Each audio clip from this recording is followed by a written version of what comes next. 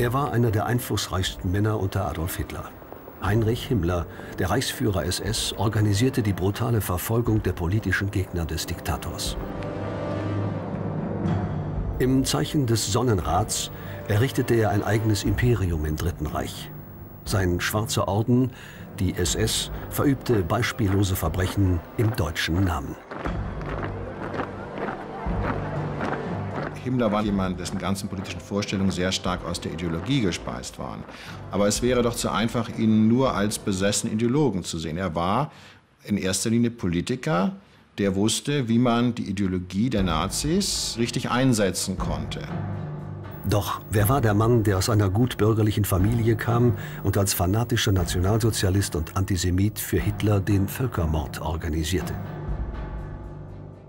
In der Familie wurde er schon so als das schwarze Schaf gesehen, als der Ausrutscher. Das war sicher auch eine Version, die versucht hat, Distanz zu schaffen zu dieser Person Heinrich, mit der man eigentlich nichts mehr zu tun haben wollte nach dem Krieg.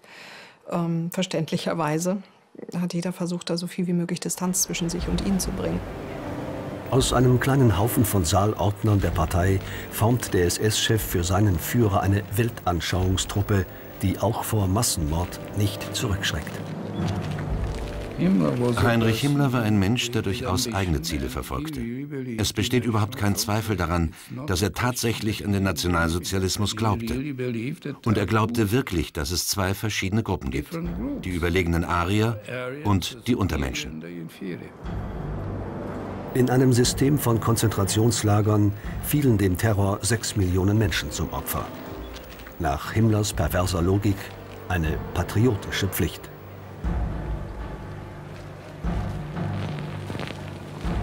Ich will auch ein ganz schweres Kapitel, will ich hier vor Ihnen in aller Offenheit nennen. Ich meine die Judenevakuierung, die Ausrottung des jüdischen Volkes. Wir waren weder menschlich, noch waren wir tot, noch haben wir uns wirklich gekümmert, was am nächsten Tage geschah. Es gab keine Gefühle mehr. Nach dem Untergang des Dritten Reiches begeht Heinrich Himmler mit einer Zyankali-Kapsel Selbstmord. Die überlebenden SS-Täter zeigen keine Reue. Himmler hat ein zerstörtes Europa hinterlassen und hat Millionen getöteter Menschen hinterlassen. Dieses Bewusstsein, Verbrechen begangen zu haben, ist, glaube ich, dieser Nazi-Elite bis zum Schluss nie, aber auch nie in den Sinn gekommen.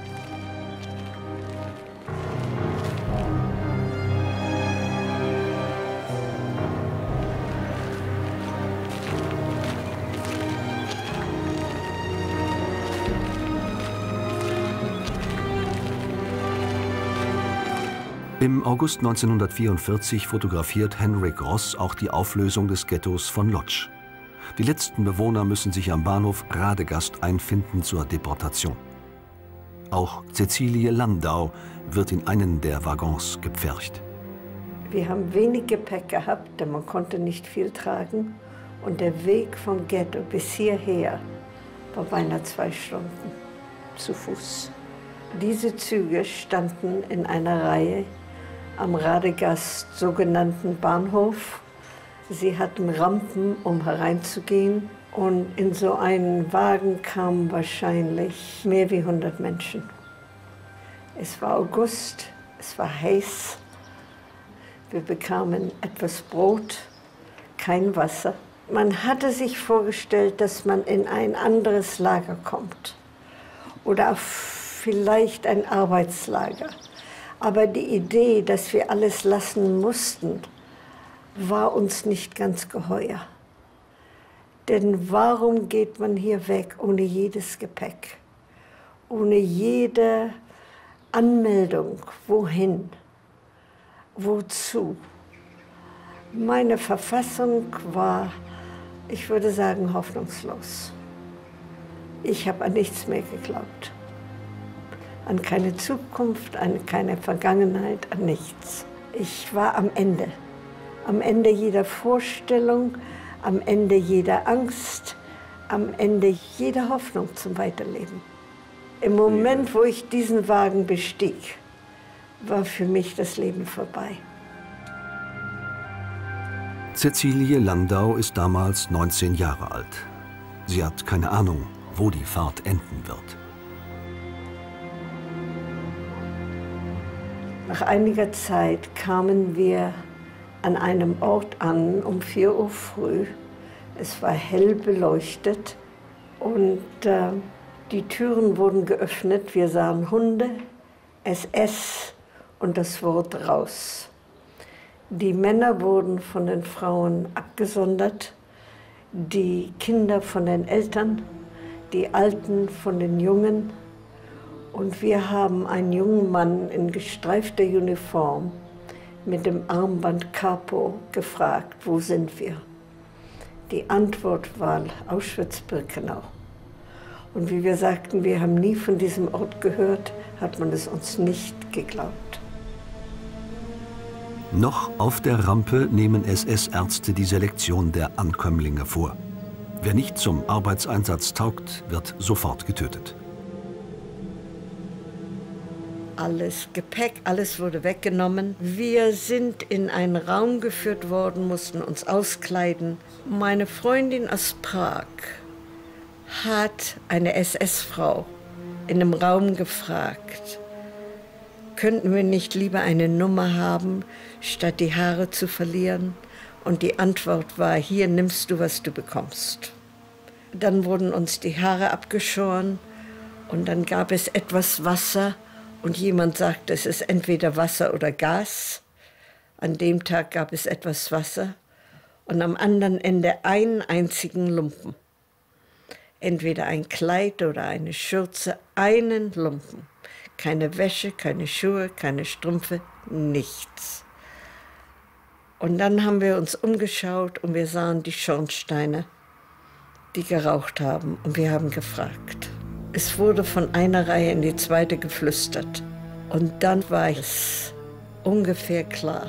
Innerhalb einigen Stunden hat man dann erfahren, was Auschwitz eigentlich ist.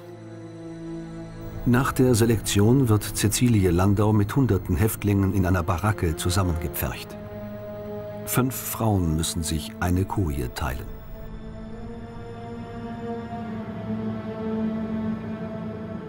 Die Versorgung ist katastrophal. Die wenigen sanitären Anlagen sind verdreckt und stinken unerträglich. Erniedrigt auf eine tierische Existenz vegetieren die Häftlinge dahin. Solange sie arbeitsfähig sind, haben sie eine winzige Chance.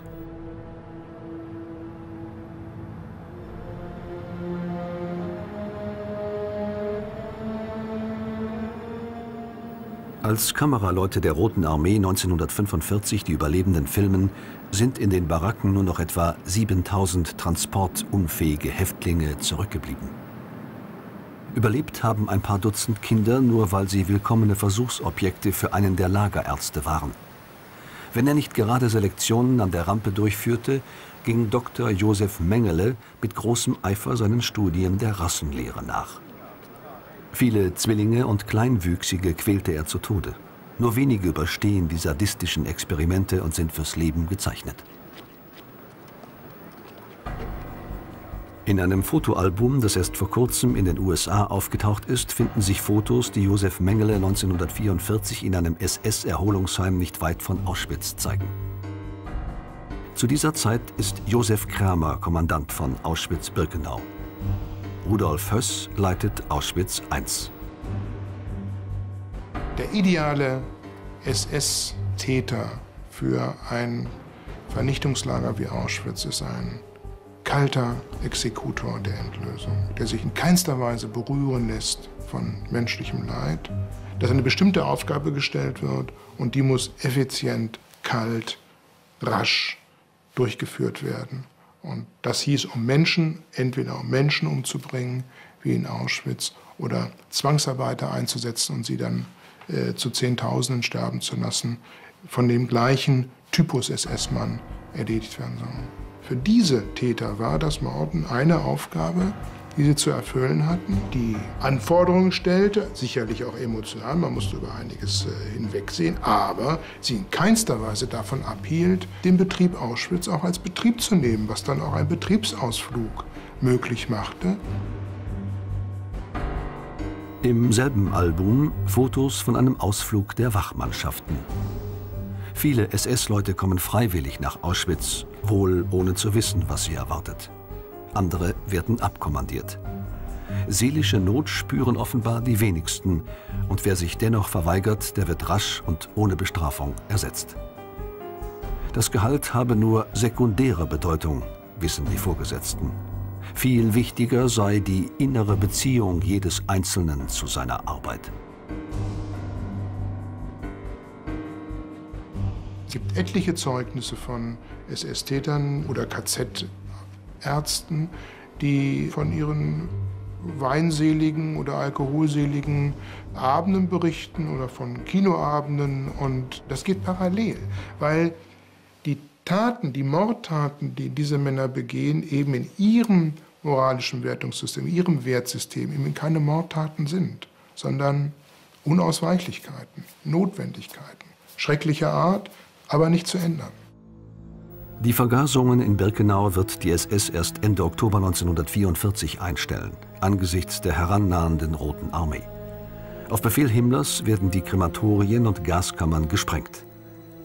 Cäcilie Landau hat Glück. Sie ist noch stark genug, um zu arbeiten. Ich war nicht allzu lange in Auschwitz und ich bin nicht durch einen Auschwitz-Winter gegangen. Wir sind wieder verladen worden in einen Viehwagen, aber erst nach einer Selektion von Mengele. Wir mussten uns das eine Stück Kleidungsstück ausziehen und einfach an den drei Offizieren vorbeigehen. Und dann haben sie gesagt, rechts oder links. Die auf der rechten Seite sind verschwunden, die auf der linken Seite, es waren ungefähr 500, sind in einen Viehlagen äh, gekommen. Wir haben ein zweites Stück Kleidung bekommen und irgendein paar Schuhe. Und der Zug ging dann drei Tage irgendwo hin.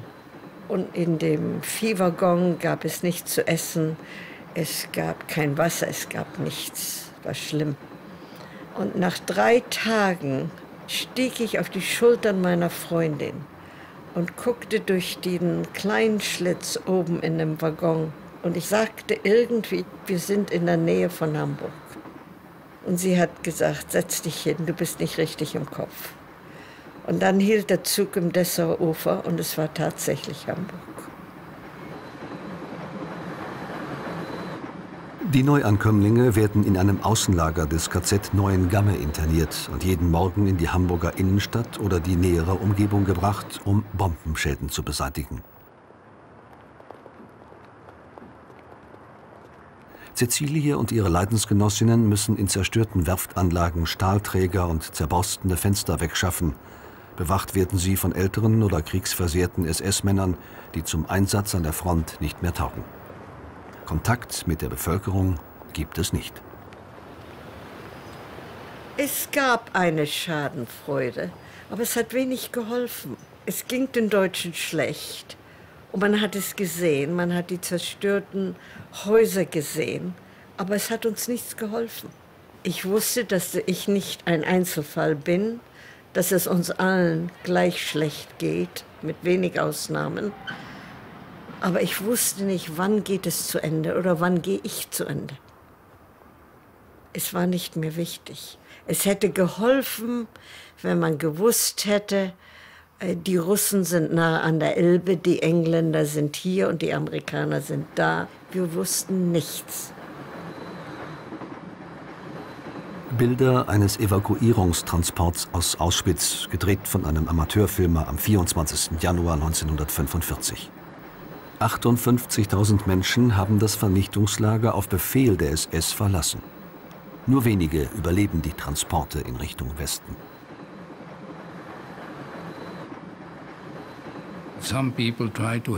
Einige versuchten uns zu helfen und gaben uns Wasser, das alles sofort verschüttet wurde, denn die Menschen versuchten es einander wegzunehmen.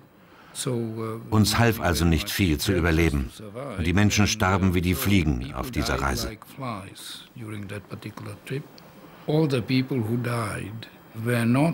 Die Toten durften nicht hinausgeworfen werden. Sie verfaulten, während wir in den Güterwaggons waren. Wir mussten es ertragen. Uh,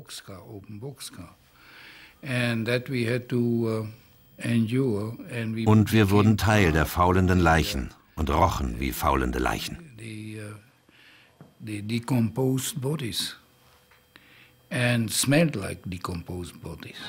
Heinrich Himmler vereidigt Volkssturmmänner, die als letztes Aufgebot in den verlorenen Krieg ziehen müssen. In der Wochenschau predigt er den Glauben an den Endsieg.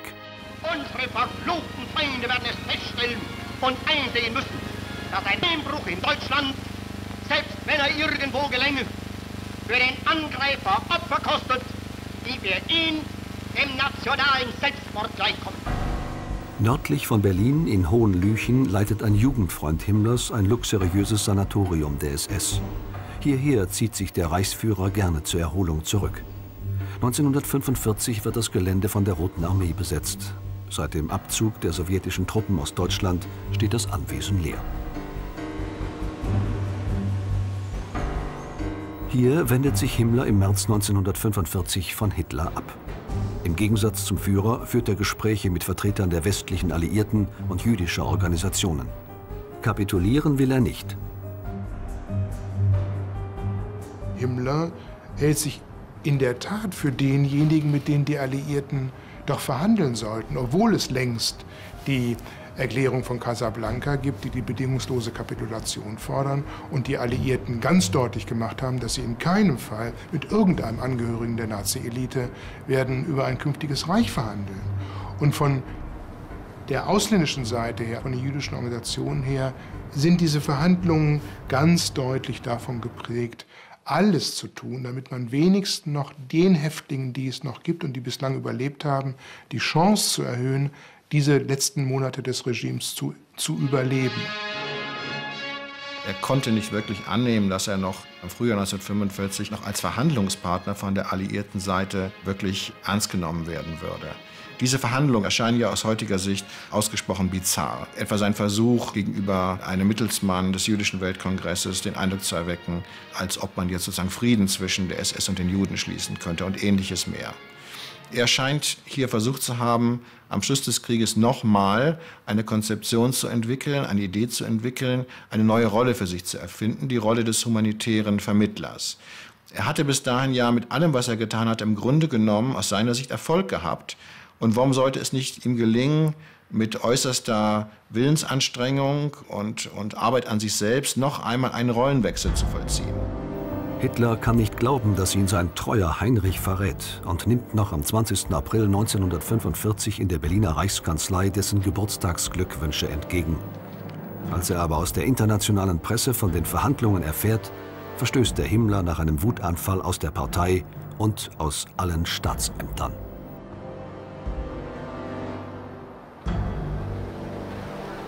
Als amerikanische Truppen und Rotkreuzhelfer im April das KZ Buchenwald erreichen, vegetieren in Himmlers Lagern noch Zehntausende Häftlinge. Viele ringen mit dem Tod. Die SS-Bewacher sind geflohen. Den Befehl ihres Reichsführers, dass niemand lebend in die Hände der Feinde fallen darf, haben sie nicht mehr befolgt.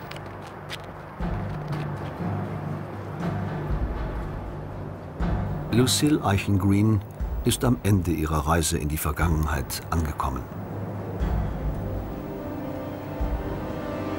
Noch einmal besucht sie das ehemalige Konzentrationslager Bergen-Belsen in der Lüneburger Heide. Unter ihrem Geburtsnamen Cäcilie Landau wurde sie im März 1945 aus Hamburg dorthin gebracht und sah noch einmal unbeschreibliches Elend.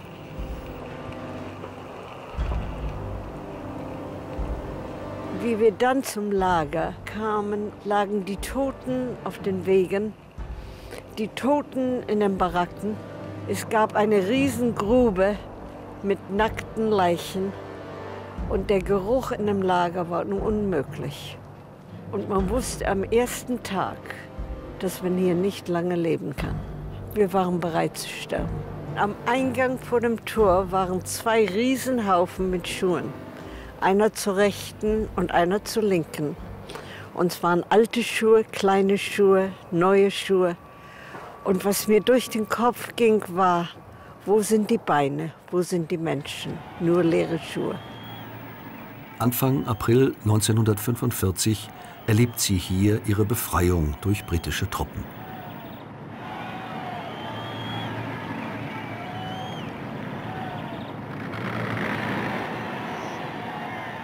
Wir wussten, dass die Engländer uns gefunden haben und wir wussten, dass für uns wahrscheinlich der Krieg vorbei ist. Aber die Freude hat nicht lange gedauert. Man hat sich gefragt, wo sind unsere Familien? Wo ist unser Zuhause? Wo gehen wir hin und was jetzt? Die SS-Wachmannschaften werden entwaffnet und gehen in Gefangenschaft. Spezialkommandos der Briten suchen nach Beweisen für die Verbrechen.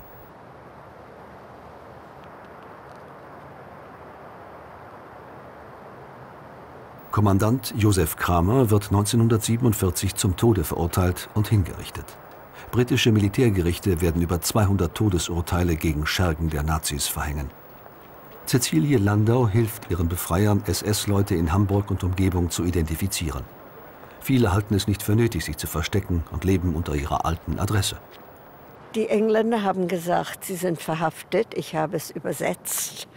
Und die Antwort war, ich habe nie etwas getan. Ich bin nicht schuldig. Warum verhaften Sie mich?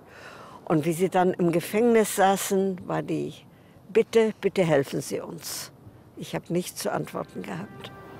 Was ich mitbekommen habe, waren die Zettel unter unseren Kasernen, in denen wir gewohnt haben nach dem Bergen-Belsen Camp. Und die Zettel sagen, wir werden dich töten. Und sie waren wahrscheinlich von den Familien der SS-Leuten. Und nach dem dritten Zettel habe ich es meinem Chef auf den Schreibtisch geworfen und drei Tage später war ich in Frankreich. Cäcilie emigriert in die USA, gründet dort eine Familie und betritt erst Jahrzehnte später wieder deutschen Boden.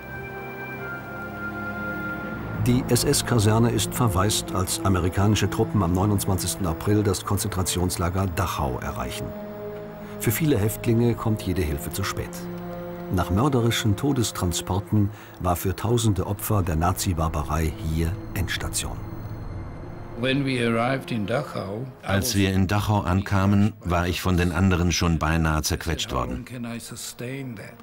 Ich dachte, wie lange kann ich diesen Zustand noch ertragen?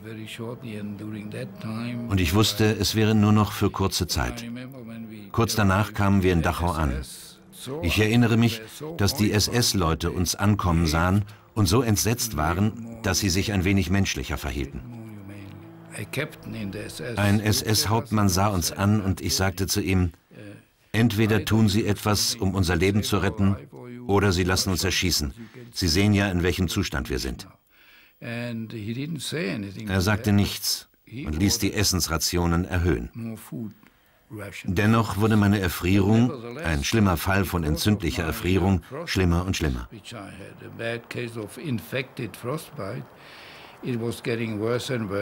Es waren einige Ärzte da, die mich operierten, aber die Infektion nicht stoppen konnten. Ich konnte mich selbst langsam sterben sehen. Ich gab mir noch etwa zehn Tage und innerhalb dieses Zeitraums wurden wir befreit. And I gave myself about uh, 10 days or so. And during that particular time, we are liberated. Wachmannschaften, die nicht mehr fliehen konnten, versuchen sich mit Zivil- oder Häftlingskleidung zu tarnen. Doch die befreiten Insassen können die meisten identifizieren. Als die Amerikaner Anfang Mai das Anwesen Heinrich Himmlers am Tegernsee besetzen, ist der Hausherr abgetaucht. In seinem Wohnzimmer hören die GIs im Radio von der Kapitulation der Deutschen.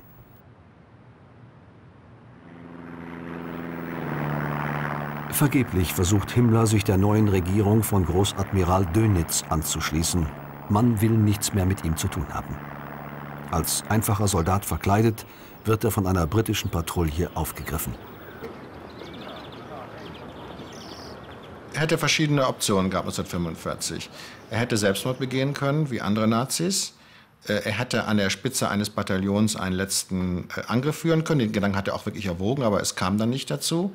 Er hätte sich, und das hätten viele von ihm erwartet, äh, den Alliierten stellen können, sich vor seine Männer stellen können, Verantwortung übernehmen. Alles dies hat er nicht getan. Er hat offensichtlich den entscheidenden Moment versäumt, sozusagen eine Antwort auf das Ende des Dritten Reiches zu finden. Seine Persönlichkeit scheint in den letzten Wochen des Krieges regelrecht zusammengefallen zu sein. Er wusste nicht, was er machen sollte. Auch eine Fluchtmöglichkeit. Er hätte ja durchaus Möglichkeit gehabt, sein, sein Äußeres wirkungsvoll zu verändern. Aber seine Bemühungen in dieser Hinsicht waren so dilettantisch, dass ihn der vernehmende englische Offizier sofort erkannte, als er ihm vorgeführt wurde. In der Uelzener Straße in Lüneburg ist damals ein Verhörzentrum der britischen Streitkräfte untergebracht. Als man dort den Gefangenen gründlich durchsucht, begeht Heinrich Himmler mit einer im Mund versteckten Cyankali-Kapsel Selbstmord. Der Massenmörder stirbt am 23. Mai 1945 nach qualvollem Todeskampf. Heinrich Himmler, Heinrich Himmler versuchte seiner Verantwortung irgendwie zu entkommen und überließ es den übrigen SS-Gefolgsleuten zu büßen und bestraft zu werden und all das. Er stellte sich nicht und sagte, ich bin verantwortlich. Er stellte sich nicht. Er wollte fliehen wie so viele andere und beging Selbstmord, wie Hitler, weil sie nicht zugeben wollten, dass sie Unrecht hatten, dass das, was sie getan hatten, ein Verbrechen war that what they did was a crime. Er war eine Zeit lang der wahrscheinlich zweitmächtigste Mann im Dritten Reich. Seine Henker töteten Millionen. Wie die meisten seiner Opfer aber wird Himmlers Leichnam namenlos verscharrt von deutschen Kriegsgefangenen irgendwo in der Lüneburger Heide. Ehefrau und Tochter sind in amerikanischer Gefangenschaft. Nürnberg im Sommer 1945. Hitlers Stadt der Reichsparteitage liegt in Trümmern. Die Sieger haben beschlossen, hier, wo die Saat der Nazi-Ideologie aufging, Hitler wie ein Erlöser gefeiert wurde, wo Julius Streichers antisemitische Hetzschrift Der Stürmer erschien und wo 1935 die menschenverachtenden Rassegesetze gegen die Juden beschlossen wurden, genau hier wollen Amerikaner, Briten, Franzosen und Sowjets den überlebenden Naziführern den Prozess machen. Schauplatz des welthistorischen Gerichtsverfahrens ist der Nürnberger Justizpalast. Keine siegreiche Nation und kein Bündnis hat je etwas so Kühnes und Kompliziertes gewagt, wie es die Alliierten mit den überlebenden Repräsentanten des Dritten Reiches tun. Die Anklage wiegt schwer. Zwölf Jahre Diktatur, Krieg und Massenmord. Das Internationale Militärtribunal soll über Schuld und Unschuld richten.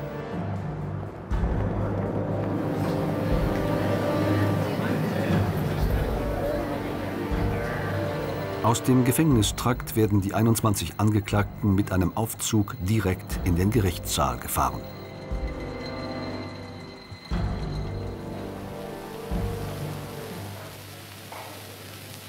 Weil Heinrich Himmler und Reinhard Heydrich tot sind, haben die Ankläger vollwertigen Ersatz gesucht und glauben ihn gefunden zu haben. Am 10. Dezember 1945 betritt erstmals der Angeklagte Ernst Kaltenbrunner den Saal 600. Eine Kältewelle ging über die Anklagebank, erinnert sich der amerikanische Gerichtspsychologe Gustav Gilbert später, als ob ein kalter Luftzug durch die offene Tür hereingeweht wäre. Der Nachfolger Heydrichs als Leiter des Reichssicherheitshauptamts bestreitet die Anklage und sieht sich selbst als Sündenbock für die Verbrechen anderer. Seine Mitangeklagten empfangen ihn kühl und versuchen ihn zu ignorieren.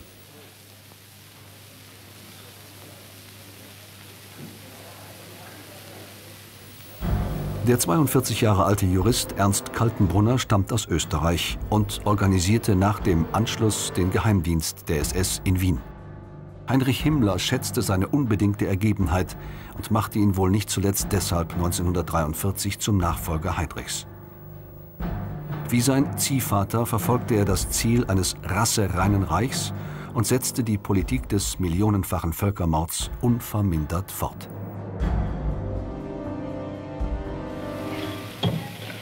You must now plead either guilty or not guilty.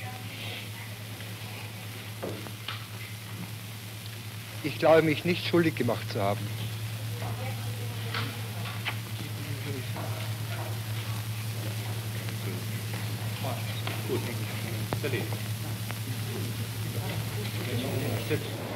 Seine Unterschriften auf zahllosen Dokumenten versucht Kaltenbrunner wegzuerklären oder er bestreitet deren Echtheit. Die Hartnäckigkeit, mit der er leugnet, erzeugt bei Beobachtern Bewunderung. Ein deutscher Verteidiger nennt ihn den Mann ohne Unterschrift. Sogar einige Richter vermag er zu beeindrucken. Doch gegen den Berg der Beweise, den die Anklagebehörde aufgehäuft hat, kann er nicht ankommen.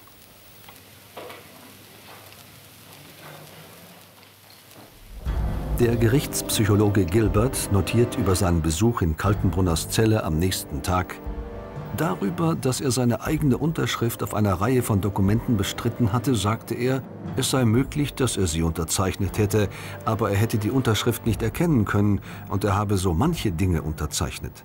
Die Anklage hätte ihm wirklich nicht Zeit gelassen, diese Dokumente zu studieren. Ich fragte ihn, wann er von den Massenmorden erfuhr, von denen er zu Anfang nichts zu wissen behauptet hatte. Das ist eine typisch amerikanische Frage, antwortete er ausweichend. Sie wollen die Sache ganz genau wissen. Das ist alles nicht so einfach. Als ich erfuhr, dass diese Dinge nicht nach dem Gesetz vor sich gingen, legte ich bei Himmler Protest ein. Es konnte kein sehr wirkungsvoller Protest sein, bemerkte ich. Ihr Amerikaner scheint zu glauben, dass unser ganzes Reichssicherheitshauptamt nichts als eine organisierte Verbrecherbande war, erwiderte Kaltenbrunner.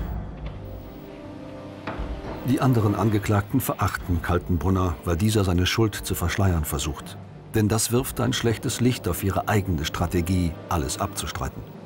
In Kaltenbrunners Fall sei es doch logisch, dass er von der Sache etwas gewusst habe, meint Großadmiral Dönitz.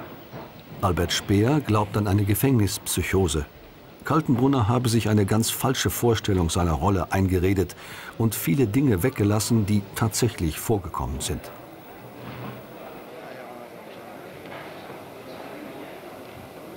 In seinem Schlusswort ist sich der Angeklagte nach wie vor keiner Schuld bewusst.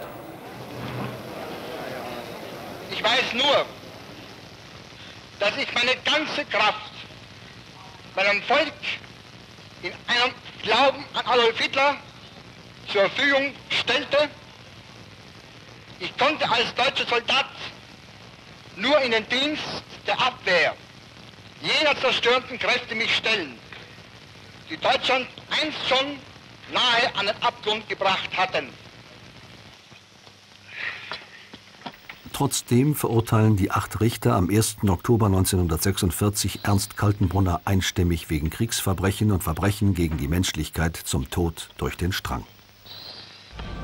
Von Dezember 1946 bis Mai 1949 werden im Nürnberger Justizpalast zwölf Nachfolgeprozesse vor amerikanischen Militärgerichten durchgeführt. Angeklagt werden unter anderem Ärzte und hohe Regierungsbeamte des Dritten Reichs, Generäle und Industrielle wie Friedrich Flick und Alfred Krupp. Am 15. September 1947 beginnt im Saal 600 der sogenannte Einsatzgruppenprozess. Die 23 ehemaligen Angehörigen der SS werden der Verbrechen gegen die Menschlichkeit, der Kriegsverbrechen und der Mitgliedschaft in verbrecherischen Organisationen beschuldigt. Auf ihren Befehl wurden Hunderttausende ermordet.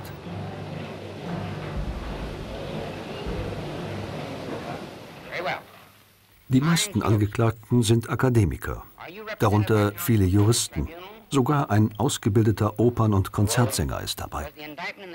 Hochintelligent sind sie, Experten der Vernichtung.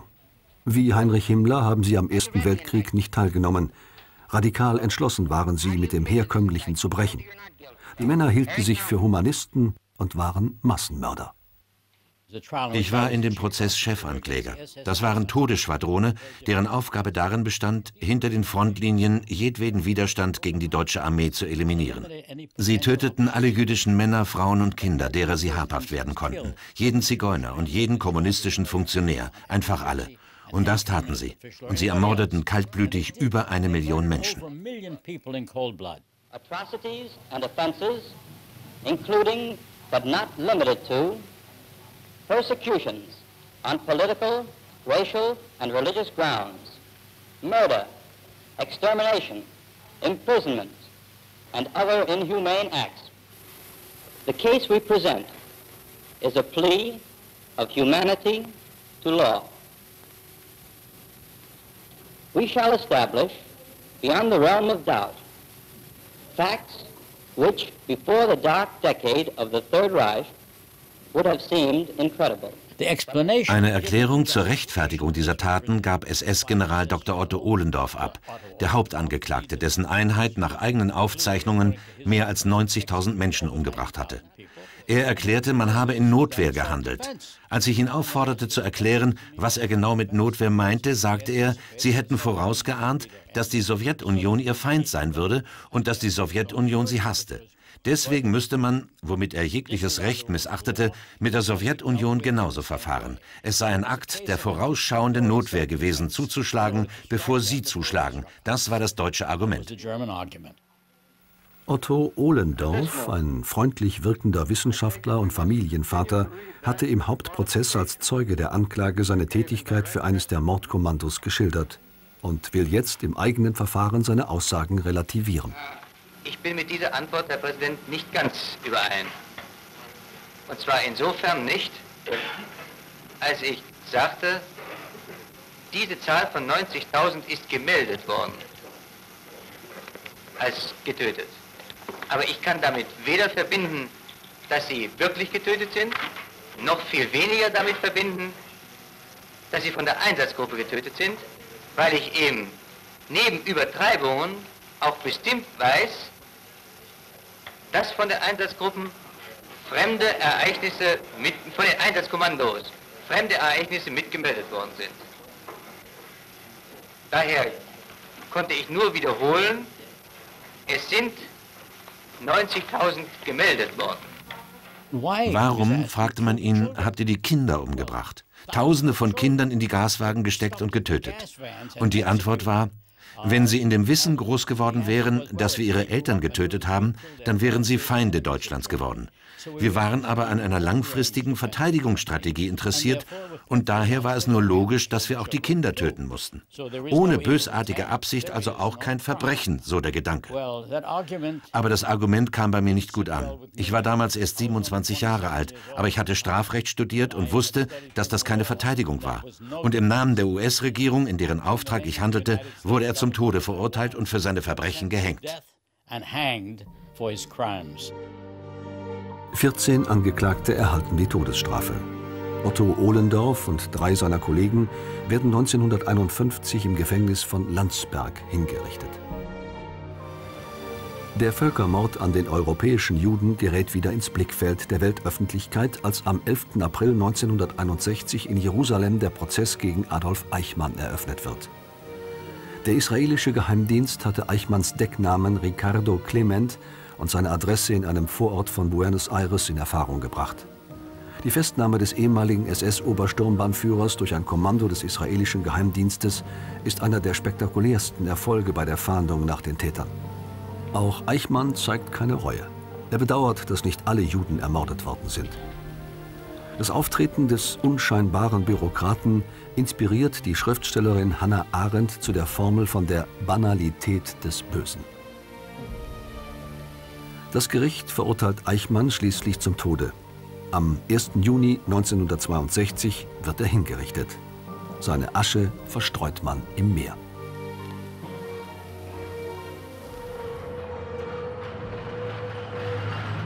In Deutschland genießt die Suche nach Nazi-Verbrechern keine Priorität.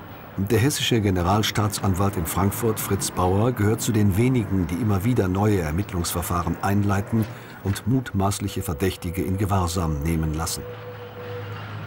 Dennoch leben viele ehemalige SS-Angehörige unter falschem Namen oder ganz offen und unbehelligt in der Bundesrepublik.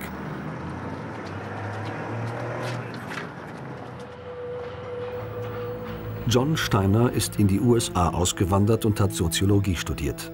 Er will alles über die NS-Täter und ihre Motive herausfinden und beginnt eine Studie. Bereitwillig geben ehemalige SS-Männer Auskunft. Ich erinnere mich, dass ich jemanden interviewt habe, der einen relativ hohen Rang in der SS bekleidete. Er war ein Intellektueller und sagte, wissen Sie, wenn ich nicht Teil davon gewesen wäre, hätte ich es niemals initiiert. Ich hätte nie getan, was ich getan habe. Und nur aufgrund des Vorbilds der anderen und der Gruppe, die Dinge taten, die heute völlig inakzeptabel wären, habe ich daran teilgenommen. Darum habe ich es getan. Von selbst hätte ich niemals damit angefangen. Ich hätte nie zugelassen, nicht einmal daran gedacht, Menschen zu töten oder sie in die Gaskammer zu schicken. Steiner sucht in Familienumfeld und Erziehung Hinweise für eine besonders autoritäre Gesinnung bei den SS-Tätern, die zu der menschenverachtenden Behandlung ihrer Opfer führte. Und er will wissen, wie die Täter sich selbst sehen, 20 Jahre nach der Tat.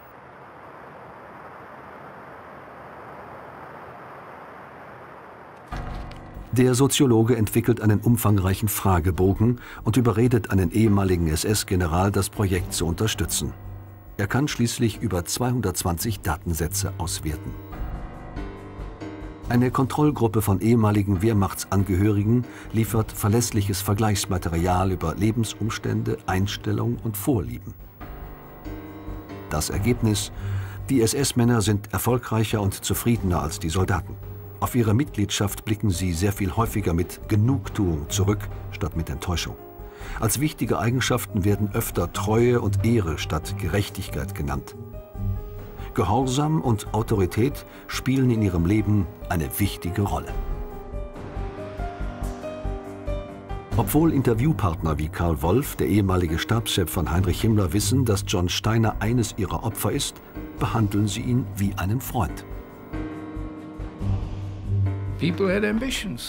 Diese Leute waren ehrgeizig. Karl Wolf zum Beispiel wollte Obergruppenführer werden und tat alles, um das zu erreichen. Er log und all das. Diese Leute hatten einen solchen Machtwillen, dass sie ohne Rücksicht alle verfügbaren Mittel dafür einsetzten, so selbstsüchtig waren sie. Because they were self-centered people who wanted to es waren Leute, die ihre Ziele durchsetzen wollten, auch wenn sie kriminell waren. Sie stritten jedoch ab, dass es kriminell war, denn sie glaubten an ein System, das ihnen sagte, dass dies vielmehr eine gute Sache sei. Und das wollten sie glauben. Und sie nutzten das, um Dinge zu rechtfertigen, die nicht zu rechtfertigen waren.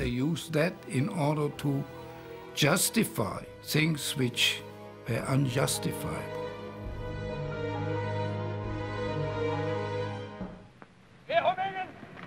Die Vernichtung der europäischen Juden war das Werk von etwa 200.000 Deutschen und ihren Helfern. Die meisten Nazi-Verbrecher waren weder Sadisten noch Psychopathen, sondern ganz normale Familienväter. Wie selbstverständlich mordeten sie fürs Vaterland. Nach dem Untergang des Dritten Reichs beriefen sie sich auf ihre Pflicht zum Gehorsam. Reue kommt nicht vor. Also das ist das auch im Nachhinein sicher das Erschreckende, dass die Fähigkeit, Distanz zum eigenen Tun und zum eigenen Bewertungssystem einzunehmen und einen anderen Blick auf das eigene Tun zuzulassen, was dann ermöglicht hätte, auch zu akzeptieren, dass das, was man getan hat, Verbrechen gewesen sind, wenn man Verbrecher ist, dass diese Möglichkeit diesen Männern offensichtlich auch nach dem Krieg nach wie vor verschlossen ist. Diese Unfähigkeit zum Perspektivwechsel, zur Selbstdistanz und letztlich auch zur Empathie, die sieht man bei diesen Tätern auch noch nach 45. Und wie gesagt, daraus wiederum im Umkehrschluss lässt sich zeigen, wie diese Männer vor 45 handeln konnten, wie sie handeln. Die waren von ihrem Tun überzeugt und waren nicht in der Lage, sich anrühren zu lassen von dem Schrecken, den sie angerichtet haben. Mit einem Lied auf den Lippen zogen die Männer in den Krieg. Sie hielten sich für die Elite der Welt und waren in Wirklichkeit eine Schande für Deutschland und für die Menschheit. Ja,